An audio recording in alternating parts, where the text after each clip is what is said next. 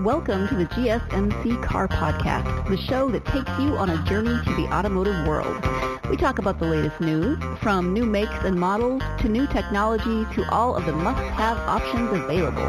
Whether you're a fan of the old classics, love the latest models and technology, or have never met a vehicle you didn't want to work on, the GSMC Car Podcast has something for every car enthusiast.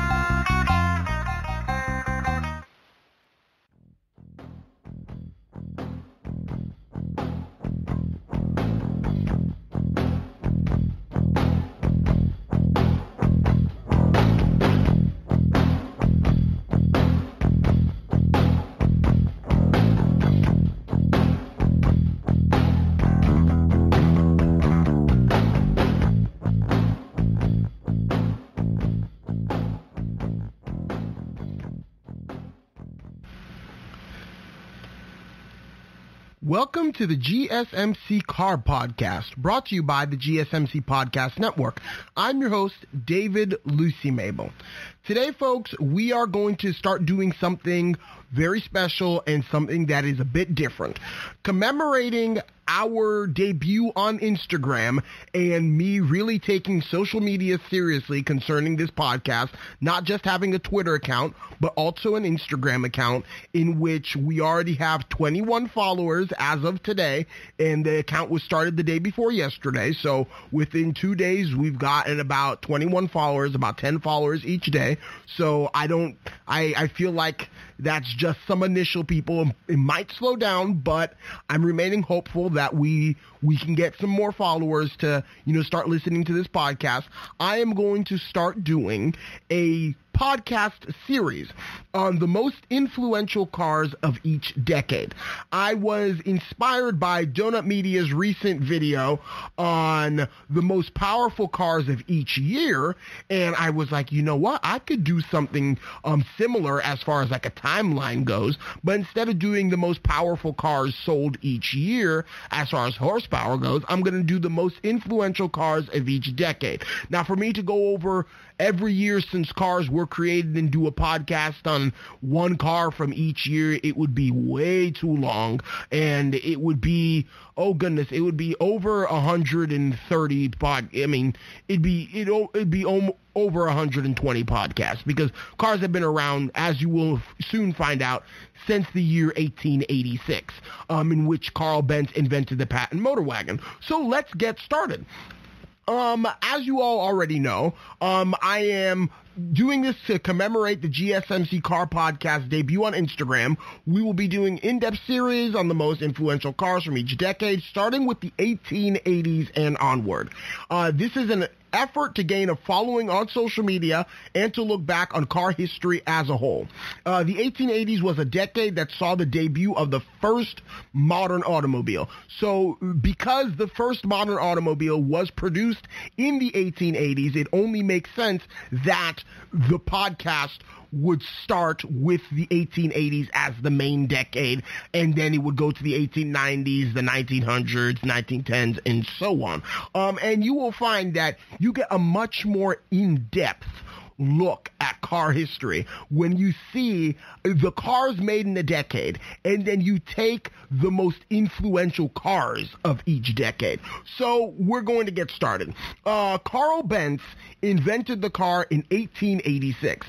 This car was called the Benz Patent Motor Wagon and was also the first production car as these cars were produced from 1886 to 1893. Only about 25 of them were produced. When you consider that Carl Benz was building these by hand and they would probably take him several months to complete, I mean, you know, it's pretty impressive that in a span of less than 10 years. He produced all of these in seven years. He produced 25 Benz patent motor wagons in seven years. That is a lot. That is a lot of cars, especially when you're talking about this is the first automobile.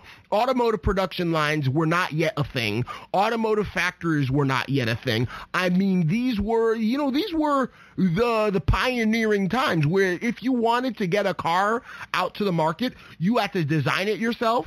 You had to build it yourself. You had to build your own engine yourself. You had to do everything pretty much yourself. You might have hired apprentices apprentices to help you out in your workshop, but everything was largely done yourself and everything was largely handmade and built to order essentially. So the fact that he was able to build 25 of these cars in seven years is actually very, very impressive. So, uh, moving on, um, I will say that all modern cars owe their ancestry to this car, the 1886 Benz Patent Motor Wagon. Now, let's let's go back to the you know to those times. Um, in those times as you all have seen from movies and really as you all have learned from history because in the grand scheme of things this wasn't that that long ago i mean think of it just oh probably four or five generations back if you look at any you know 20 something year old, four or five generations back, they had ancestors living in that time. I mean, my dad was born in 1967. My grand, uh, grandmother was born in 1940. My great grandmother was born in 1902. And my great great grandmother was born uh, somewhere around, you know, the 1860s, maybe the 1870s. So, I mean, you know, we, we have people alive today that knew people that were born in that time period. So the fact that this was able to take off and the fact that this was able to be done really shows you that this is not a very this is not a very long time ago. It's not a very long time ago at all. So when you see the advancement of technology over the course of human history, however long if humans have been around on the planet, I'm not going to go into all of that because different people say different things, different sources say different things, different people believe different things. But point is, humans have been around for a long time and civilization has been around for several thousand years. So you take a look at, you know, advancements in technology and then you get to around the 1850s, 1860s to now over the past 150, 160 years just about. I mean, technology has skyrocketed. I mean, we're, we're talking about this Benz Patent Motor Wagon, which was built largely out of wood with some metal tubing holding it all together. And now we have Mercedes-Benz debuting an ultra screen for their dashboards. I mean, in which the entire dashboard is a screen integrating the gauge cluster, the climate control, the radio controls, the whole entire span of the dashboard is a screen. Mercedes-Benz has just announced this, that it's, you know, that they're it's not in cars yet, but that they're working on it in development and whatnot. This is the this is the advancement of technology. I mean, you think about the time in which there was, there was I mean, you think about the times of the pyramids. The pyramids to to to the Greek conquest of Egypt to the Roman Empire to this to that all sorts of other things. I mean, in 150 years, we have advanced more in technology than they did in the past 1500 years before all of that. So now think of that in terms of the car. Benz Patent Motor Wagon, very simple, very primitive by today's standards, and yet it revolutionized an age. Revolutionized an age and has forever changed the world something that happened just 150 years ago. You think of it back in those times when you lived in like ancient Rome. Nothing that happened 150 years ago changed the entire world. 150 years ago, in the let's say you were living in the Roman Empire, like I don't know, 40 BC or something, or whatever the Roman Empire existed, and let's say you take 150 years before that, life was largely the same. You, of course, you would have gone through different rulers, different emperors, or different Caesars, whatever they called them. But as far as technology, what people did on an everyday basis, technology and, you know, developments remain the same. Things happened a lot slower. So to them, 150 years ago, was not nearly as far removed from what they were currently doing as 150 years ago is for us today. 150 years ago, it might as well be the Middle Ages. I mean, nothing was the same. Nothing was the same. Living situations weren't the same. Schooling wasn't the same. In this car- case, cars were definitely not the same. So this is why I wanted to do this. So really, so you can drive the point home that, oh my gosh, this is something revolutionary. This is something insane. And cars that we take for granted nowadays, just in the time of our great great grandparents, were a luxury commodity that most people could never hope to uh, even own. That is until Henry Ford came around in like the you know the 1920s. But like, still, this was this was insane. This was absolutely insane. So I, I just wanted to start a, pod, a podcast series on this, hoping that this would get off the ground and attract people on Instagram to listen, to like, to follow, to do any sorts of um, things related to that. So I'm very excited, very, very, very excited to do this. Um, and I, I'm hoping that you all enjoy. But you know, the the the cars, the cars are something that are extremely that are extremely important to our everyday lives. I mean, you take everything from your lowly Mitsubishi Mirage to your Aston Martin Lagonda Taraf. I mean, you know, every single car has its importance. Every single car has its place.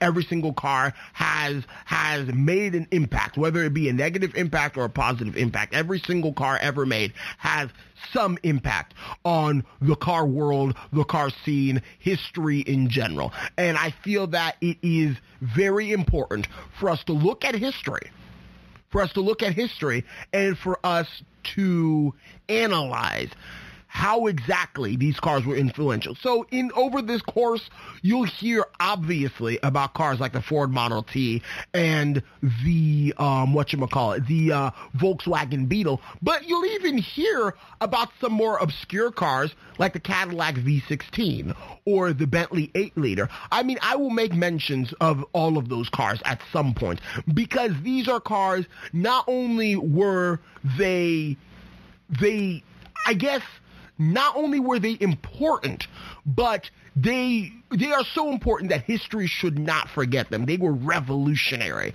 They were not just important, they were revolutionary. I mean, the Volkswagen Beetle was not just an important car. It was absolutely revolutionary. I mean, it completely changed the way, you know, people were able to afford cars. It was like the Ford Model T of its day. It was the best-selling car on earth a record, you know, that has maybe just recently been beat, maybe by the Toyota Corolla, if I'm not mistaken. But as far as a single platform in a single generation, that was the longest running car ever known. And then you get, you know, some some cars like the Chrysler K cars, which are not a a specific car, but which are a group of cars that saved one of the largest car companies in America. And then you get cars like the uh, the the uh, Ford Mustang that created a new segment of the car, and then you have cars like the Ford Thunderbird that also created a new segment of cars. And then you get cars like, you know, some French cars. It was the French that that invented the first front wheel drive car. I mean, all of these are influential cars that deserve a mention in some way, shape, or form. So I hope you all enjoy this series. I hope you all get something out of it. I hope it does you well, and I hope you're very interested in uh, finding out. So in the next segments of the podcast, basically how these are going to be structured.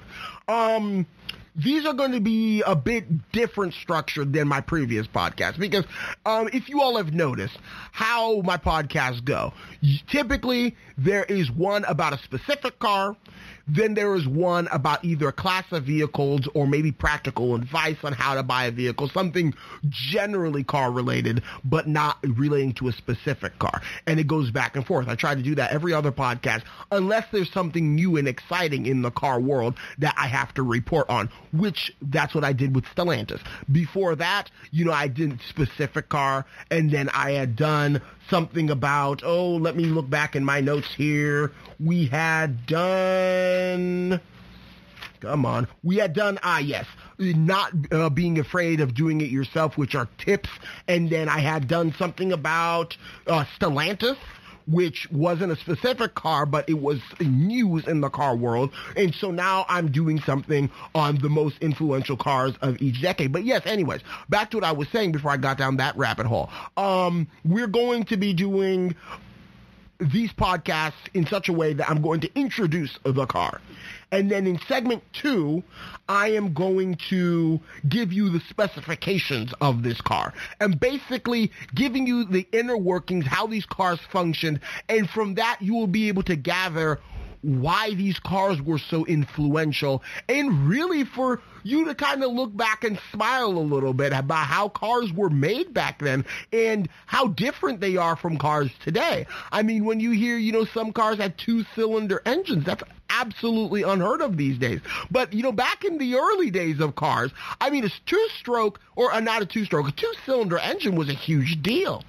I mean, you know, a two-cylinder engine that could produce like 20 horsepower is like, whoa, like that's crazy. I mean, but nowadays 20 horsepower is absolutely nothing. I mean, your, your your lawnmower probably produces 20 horsepower. I mean, let's be honest. And then in segment three, we're going to be discussing the other cars that existed during this time period. Because in order for you to fully understand the impact of a car, you have to understand what other cars existed at that time period as well. Because cars don't exist in a vacuum. Car manufacturers don't all get together and produce one car. They all compete against each other. So there were different cars even competing against the very first car, the 1886 Benz Patent Motor Wagon back in the 1880s. It had competitors from the very beginning because that's how car um, culture, that's how car history has worked. This is what it is. I mean, it's basically, you know, a competition.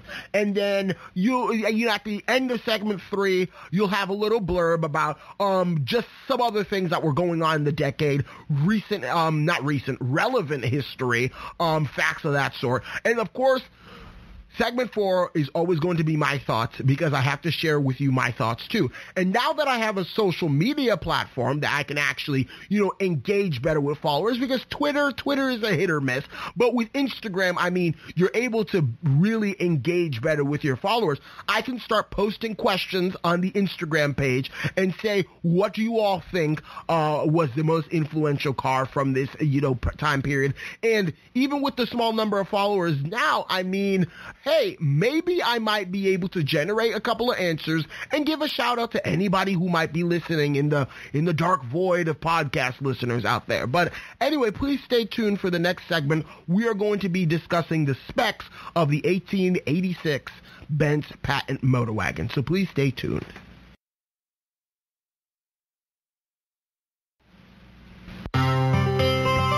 Are you a business owner? Someone interested in the latest news that might affect your business? Then check out the GSMC Business News Podcast, a show dedicated to keeping you up to date on all things concerning business, technology, and the stock market.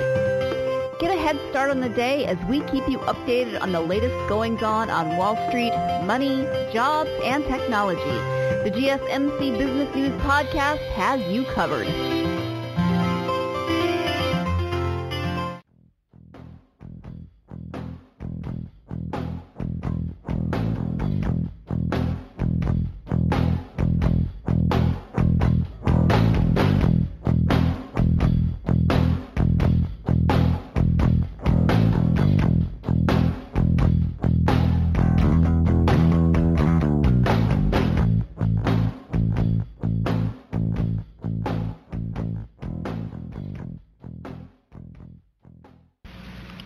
Alrighty, folks. So here we are. We're back, and we're going to be discussing the specifications of the Benz Patent Motor Wagon. In the first uh, segment, I introduced to you all uh, why I started doing this podcast, what I achieved to aim out of this, and I started telling you all a bit about car history of this time period and how really it's changed and it's advanced and it's caused you know the world to really shift on a you know to really shift on a dime to really change. I mean especially in the grand scheme of human history. But yes we're going to be talking about the specs. But before i get into the nitty gritty of the specifications you all must know carl benz did invent the car in 1886. But he invented the internal combustion engine in 1873. And that was 13 years earlier. Benz developed the first internal combustion engine, a two-stroke engine with pistons. He, he basically used the same principle of today's engines. Now, the one difference between two and four-stroke engines is, I believe, oh dear, I believe two-stroke engines need to have gas and oil mixed together because the, the, the there's a one there's a way the valves work inside of the engine. There's it's two cycles instead of four, so I, can get into the nitty gritty of that when I learn about it and I'm able to relay that information to you. Point is, the modern combustion engine far and wide is a four-stroke engine, and then back in those days it was a two-stroke, but Nonetheless, it used pistons.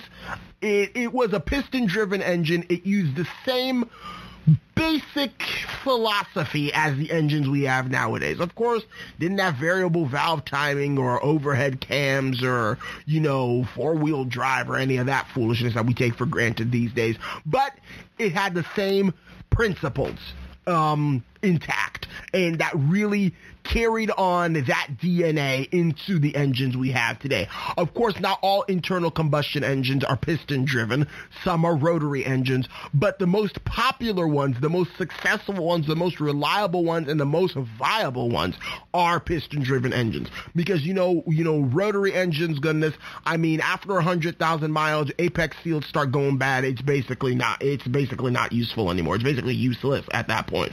So he sought out to make a motorized vehicle um, using those same principles, using an engine similar to that. His first motorized, uh, motorized vehicle that came out in 1886, the Benz Patent Motor Wagon, actually was a four-stroke engine, so even more similar to um, cars nowadays as far as their uh, powertrain goes. So the 1886 Benz Patent Motor Wagon specifications. Now these these made me smile a little bit, but at the same time, it's not a condescending smile, it's an endearing smile. Because you see how far, you know, the cars have come, how far mankind has come as far as developing car technology. So you get the Benz Patent Motor Wagon that had three wheels with a rear mounted engine.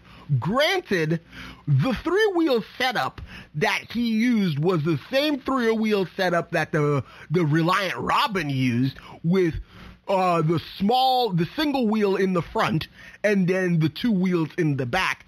It proved on the Reliant Robin to be extremely unstable. This one seemed, however, to be less top heavy because really it was just an open platform with a seat and engine and, you know, some controls. It wasn't like a closed bodied car that was trying to act like a regular car but only had three wheels. No, this, this one didn't flip over. I mean, this one was safe. I mean, Bertha, ben- ask, ask Bertha Benz when you get to heaven someday, you know, whether it was safe or not. I mean, she took the first road trip in it. But but um, you know, the thing is, it had three wheels with a rear-mounted engine. Uh, the body was constructed from steel tubing and wooden panels. I think the only car company that still uses wood as a structural component of their cars is the Morgan Morgan um, Morgan Motor Company. I think that's what they're called. There's some boutique manufacturer out of England that has been known um, for probably the past, oh, probably 90 something years making sports cars like roadsters and whatnot. And even in their most modern vehicles, they still use ash wood. Ash wood is very, very, very durable and very, very, very strong. So obviously it can handle the rigors of, you know, automotive use, especially as a um, structural component. But um, yeah, nowadays, besides Morgan Motor Company, I don't think anybody uses wood as a structural component of their cars. I mean, that's that's kind of yikes, honestly. I don't think that would pass safety inspection. But of course, in those days, wood was extremely common. I mean, when you think of it, carriages were made of wood. Uh, a lot of train cars were made of wood. So it only made sense that the first car would have a lot of wooden components. So, um, moving on. Um, they had steel spoked wheels with solid rubber tires. Um, the the the the um, pneumatic tire didn't come until oh probably 30 years after the invention of the car. Most early cars had all had solid, you know, tires. I mean, it probably didn't come until 20, 30 years after the invention of the car that pneumatic tires became the norm. Um, pneumatic tires cars, you know, cars with tires that fill with air. I mean, nothing else. I mean, solid rubber versus air tires. I mean, air tires are a lot better. They're a lot better for, you know, smoothness of ride. They're a lot safer. There's there's a lot of benefits to having you know air in your tires instead of solid rubber tires. And not to mention they're a lot lighter. I mean, you don't want solid rubber tires on a modern car. Going would weigh it down like you know lead weights or something like nobody's business. But this would also have a engine that had a single cylinder and get this had a horsepower rating of two thirds of a horsepower at 250 rpm that's cute my car makes 240 horsepower at like 4600 rpm and even that pales in comparison to some cars that are standard, you know, cars that people drive every day. I mean, like you could get a Toyota Camry with like 280 something, 300 horsepower, something ridiculous, something ludicrous. I mean, like, you don't need 300 horsepower in your, you know, in your family sedan. Granted, it would be nice to have 300 horsepower, but you don't need it. I mean, my supercharged Buick, granted, the supercharger is kind of lazy, but with 240 horsepower, goodness, I get up to speed just fine, goodness, and I'm still able to beat, you know, you know, small BMWs off the line if I really wanted to. Um, you know, powering the front wheels. But yeah, this had two thirds of a horsepower at 250 RPM. Um, the later iterations would have 1.5 horsepower and 2 horsepower respectively. He made a second and a third iteration of the Benz Patent motor wagon that had more horsepower. And I think the top speed of the Benz Patent motor wagon was something like 10 miles per hour or something, you know, sad like that. But nonetheless, this was the very first car ever made. So we can't expect it to be running laps at the Nürburgring. I doubt Nürburgring even existed in those days. So I mean, it's not, it's not, it's not, you know, racing against anybody. Right now, at this point in car uh, uh, history, you know, if you make a car that stays together, that's that's probably what you're going for. You just don't want it to fall apart. Later on, did people start getting concerned with top performance and speed and other sorts of that foolishness? I mean, in the early days, you made a car, and if it stayed together and didn't break apart when you ran over like you know a pebble or something, that was considered a success. So I would say Benz Patent Motor Wagon definitely successful. Um, later models received a fuel tank. yes. The first one did not have a fuel tank. Get this. It had fuel soaked fibers that would supply engine to the cylinder by like evaporation. So like gas fumes drove the engine. I have no earthly clue. How did Carl Benz manage to make a car without a fuel tank? But he did, and it ran. So yes, the engine, the, uh, the the later models, I should say, got engine upgrades, and they had a fuel tank, and they had leather brake shoes. Imagine trying to stop like a Rolls Royce Phantom with leather brake shoes. These things have like two calipers on each disc brake because they're just that big and they need to stop. Or imagine stopping a Maybach 57 with leather brake shoes. That's absolutely hilarious. I think I think that's I think that's just super cute and super comical. And so, yeah, honestly, I just had to mention that to you all. And then he actually went to wooden spoke wheels instead of the steel spoke wheels. So he started out with steel, but then ended up going to wooden spoke wheels. Which actually, I'm not going to poo-poo wooden wheels because wooden wheels are very durable. Granted that they don't rot. Um, they're, the wooden wheels were very, very common on automobiles for oh the first 20, 30 years or so. Um, by the way in case if you all didn't, you know, notice this when I said it in the first podcast, Bertha Benz became the very first uh, became the very first person to take a long distance road trip in the third model of the Benz Patent motor wagon. She even performed basic mechanic work on it. The story goes she was going to visit family or she was going to visit her hometown, which was 66 miles away um, from where she lived um, with Carl, her husband. So Bertha packs their two sons um, in this Benz Patent motor wagon, which I didn't even think this thing had three seats, man. But apparently it did. Um, she takes her, her her sons, who are both uh, around 15 years old. One was 14, the other one was 15, and then she takes them on this 132 mile round trip or something like that. Um, I don't know. I can't do math right now. 60 times 2 is 120. One, uh, 6 times 2 is 12. 120 plus 12 is 130. Yeah, 132 mile round trip. 66 miles in one direction, 66 miles back.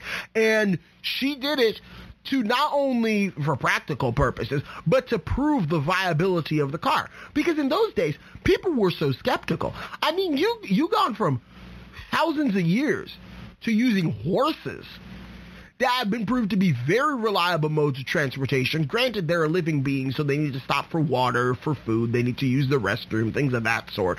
I mean, but like, you gone from horses pulling buggies and pulling wagons to all of a sudden you got this newfangled contraption that moves itself.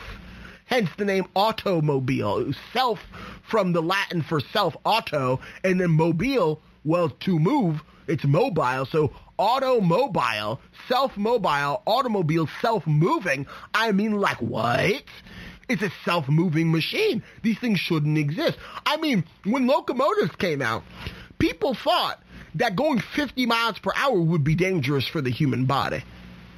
Like this is how you know, resistant that people were to advances in technology in those days. So Bertha Benz did this to prove a point that her husband's invention not only was safe, it was viable, and that it could be used on a regular basis for regular everyday commuting, or at least not commuting, because people didn't commute in those days, but getting around. And it was amazing. I mean, at some point, the leather brake shoes had worn out, so she stopped and then tacked on new leather to the brake shoes. Um, I mean, she she became the first female motorist, and to this day, the the the, the journey that she took in in in in, in Germany is marked off as the birth uh, the, the the Bertha Benz um, memorial uh, route or memorial road trip or something. So one day I'm going to drive that, but I haven't I haven't had the chance to do that yet. But like, it's just amazing. It's just amazing. I mean, the the specifications. You know, imagine driving 66 miles you know, in a car which top speed was 10 miles per hour, and that was probably 10 miles per hour with one person. Imagine having three people on this car. Like, that's just, that's crazy. The fact that you could fit three people on what was essentially a rolling wooden platform, a rolling wooden platform with some steel binding it all together.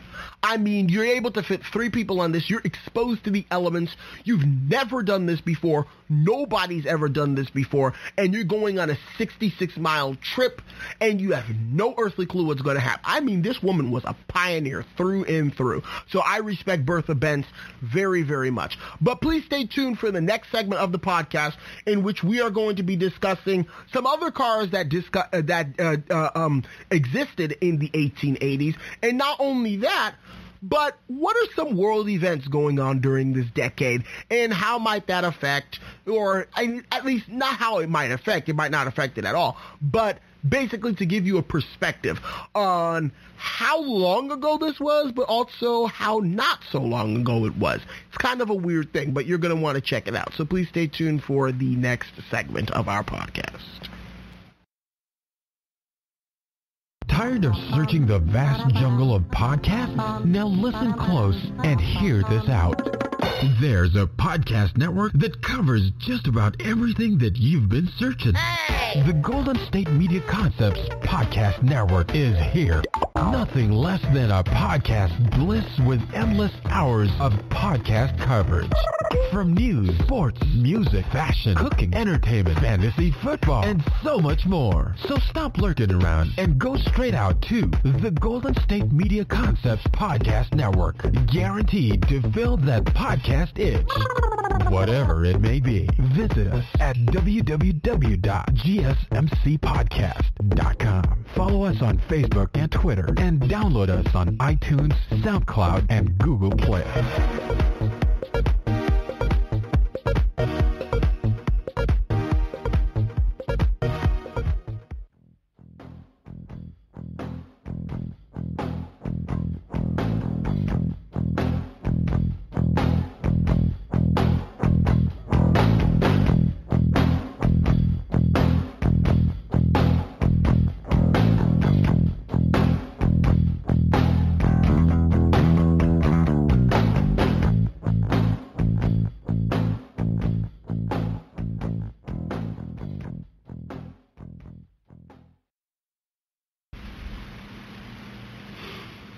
All right, welcome back, folks. In the first segment, we discussed uh, we discussed the introduction to this series of podcasts on the most influential cars from each decade. I told you all why I wanted to do it, um, and other sorts of uh, reasons of that sort.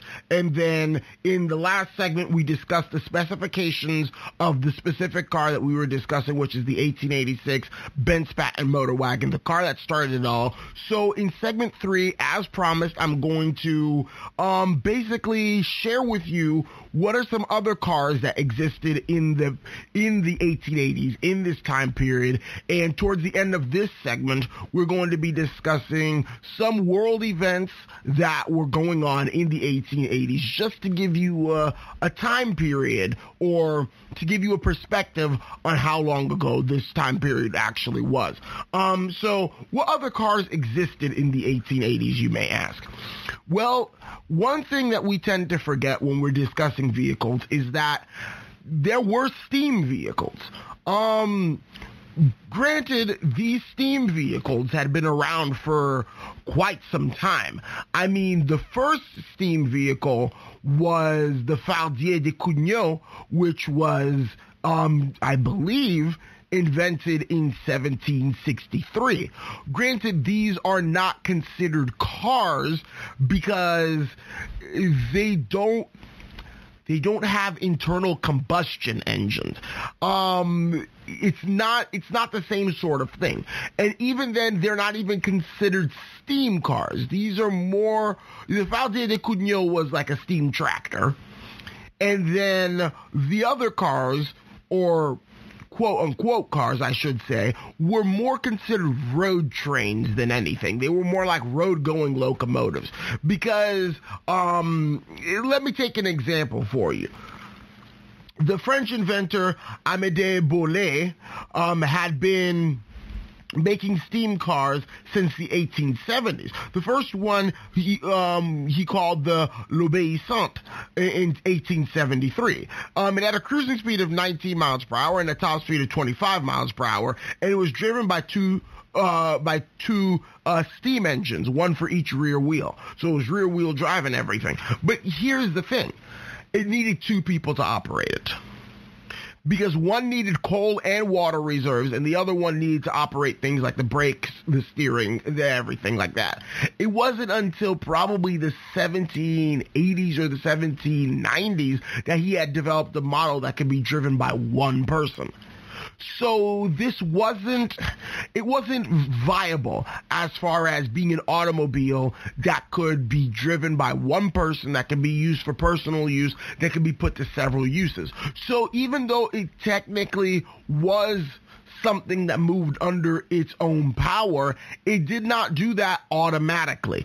Some, you know, some person had to be, you know, feeding the engine coal and water in order for it to keep on going, thus disqualifying it from being considered a automobile. It is a locomotive. It, it, it, it moved it moved under its own power, but they did not do it automatically, which is the difference between a locomotive and an automobile.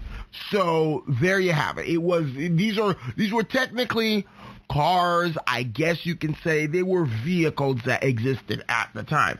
Um, the first electric car, however, saw its debut in 1888, just two years after Benz.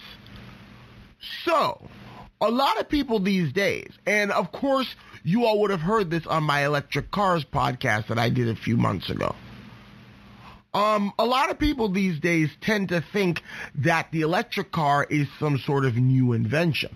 The electric car is not new at all. If cars have been around since 1886, let's see, 1886 was 135 years ago. Electric cars have been around since 1888, so they've been around since 133 years ago. I mean, they've only been around two, uh, you know, electric cars have are only two years younger than internal combustion engine cars for that matter. It's just one has to keep in mind in those days, battery technology was not nearly what it was today. So batteries, whereas, you know, today you can get three, 400 miles out of range on your electric car under full charge. Whew, pardon me. But in those days, I mean, you could probably get 30, 40 miles if you were lucky. I mean, they were not viable as everyday cars. I mean, you could use them as commuter cars, but you couldn't use them to go on a road trip because you have to keep on stopping to be charging and other sorts of foolishness at that. And of course, there were no charging stations. So however the heck you were supposed to charge these things, I have no earthly clue. So, uh, electric cars, electric cars, they were probably the most reliable. They were probably, you know, the most comfortable, the most quiet, probably the most luxurious, frankly, as far as overall driving experience. They just weren't, they weren't very, they weren't very viable. They weren't very usable. Um, is the thing. I've seen them. I've sat in electric cars from this era. I mean, they're absolutely gorgeous. They're very quiet and everything, but they're just not very practical. I mean, who wants a car that you can only drive 30 miles on on a full charge? I mean, it just, it just doesn't it, just doesn't cut it, y'all. It just doesn't cut it. So that car was the Flocken Electrowagen, or as you would say in English, Flocken Elektrowagen, which basically means electric car in German, um, because, you know, for them, I guess the suffix wagen means car, like Volkswagen means people's car, the Volkswagen. Um, the, the, the patent motorwagen, motor car, um, uh, electrowagen, um, electro electric car. So wagon means car in German. Um, even though if you were to say um, das Auto, das Auto means it's a car. So auto is like the word auto means car, but wagon like the uh, the uh, suffix means car too. So that's a little German for you. But anyway, let's move on. So world events that were going on in the 1880s. Now, the 1880s, this is this is still the Victorian era. Uh, Queen Victoria was still on the throne. Queen Victoria had about 11 more years to go. No, wait. This is the 1880s. She had about 21 more years to go because she had reigned for, oh, I believe 63 years, something as a, of that sort. And she died in 1901. Thus, her reign ended in 1901. So by the time 1880 rolled around, I mean, she still had a good 20, 21 years left to, ro- uh, to, to, to reign on the throne. Um, but other than that sort, uh, of course, I had to sneak in the little British royal family in there because I'm, I'm absolutely obsessed with the British royal family. I'm obsessed with them and cars.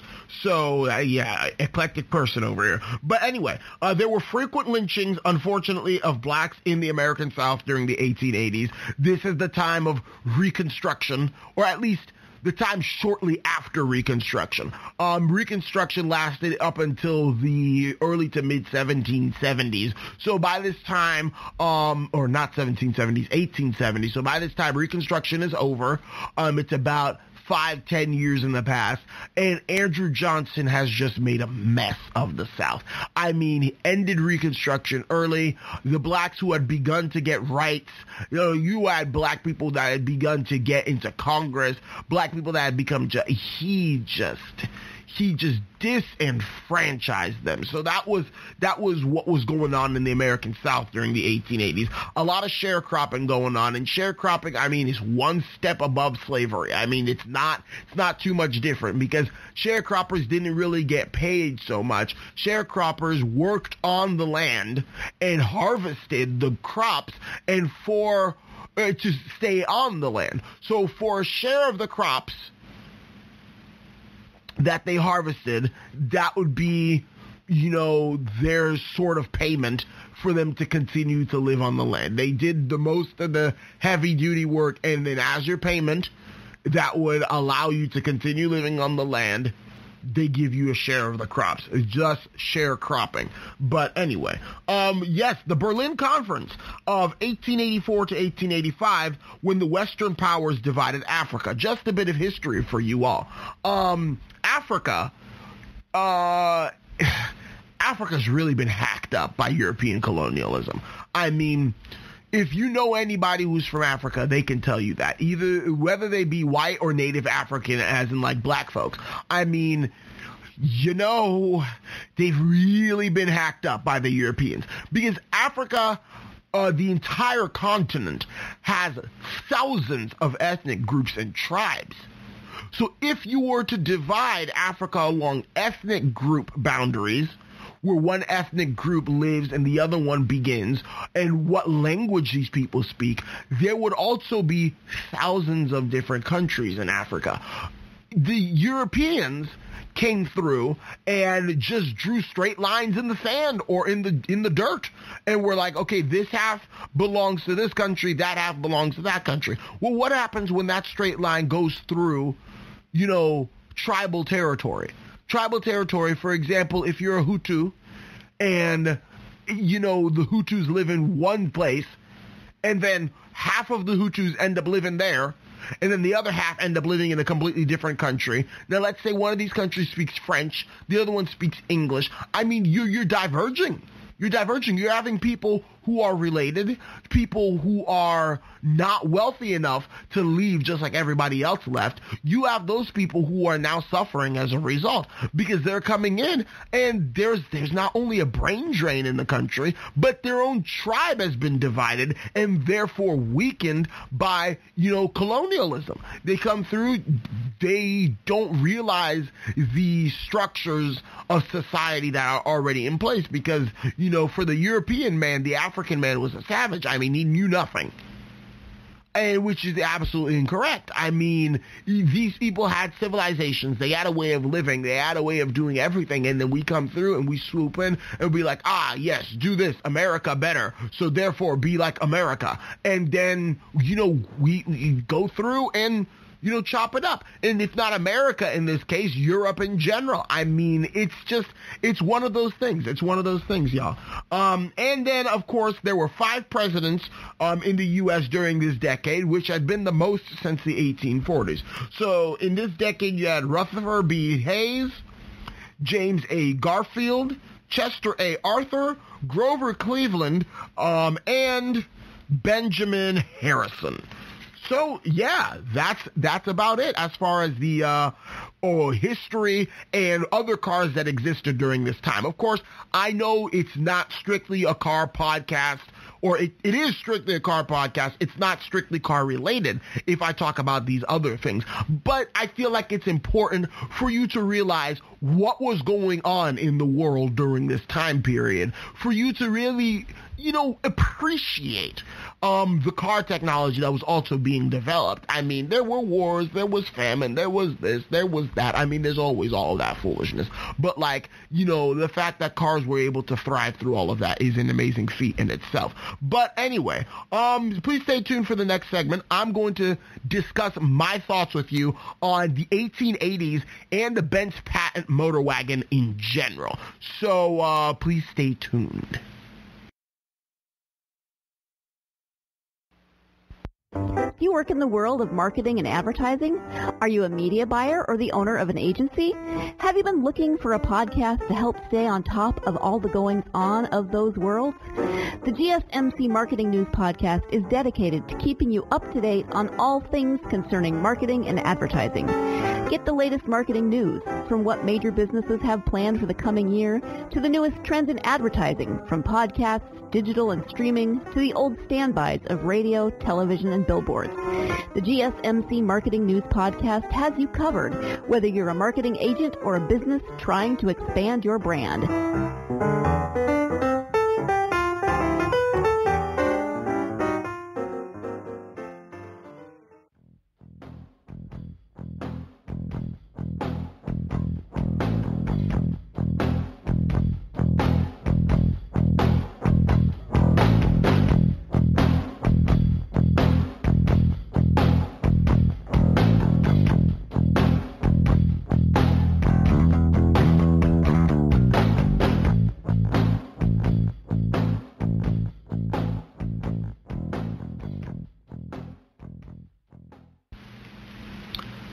Alrighty, folks, welcome back. So in the in the last segment, we discussed um, basically other cars that existed at the time period and some historical events that were going on in that time period as well, just so you to get a good perspective on what was going on in the world during you know this car's influential uh, decade, if you will.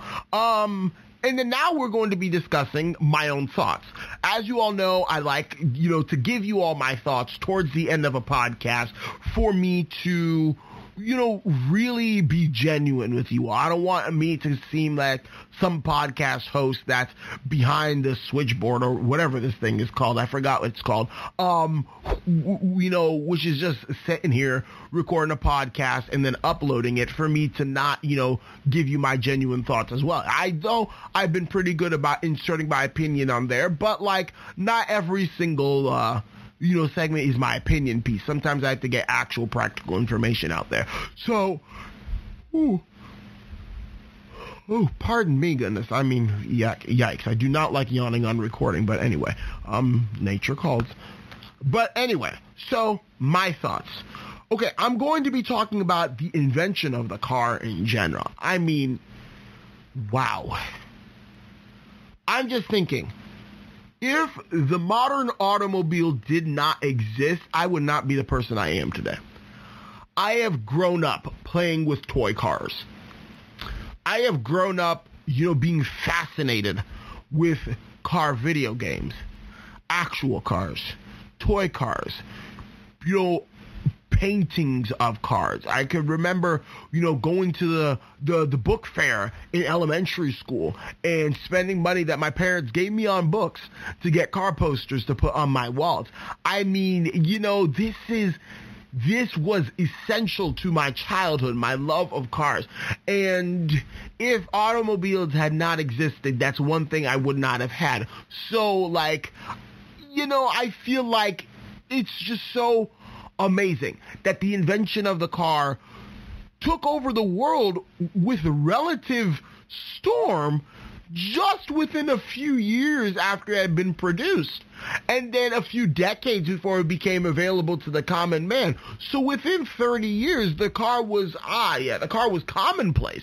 I mean, yeah, yeah, that's a car. If you remember what I said earlier in the podcast, it's as if though, you know, technology had advanced so quickly up until that point that, you know, if you had been in ancient Egypt 30 years ago, from the time whatever year would have been in ancient Egypt would have felt like yesterday because technology just didn't move that quickly. People didn't move that quickly. You know, eh, eh, eh, empires didn't fall that quickly. Invasions didn't happen. I mean, it took hundreds of years for things to get weakened and for them to finally, you know, crumble at, you know, whatever provocation.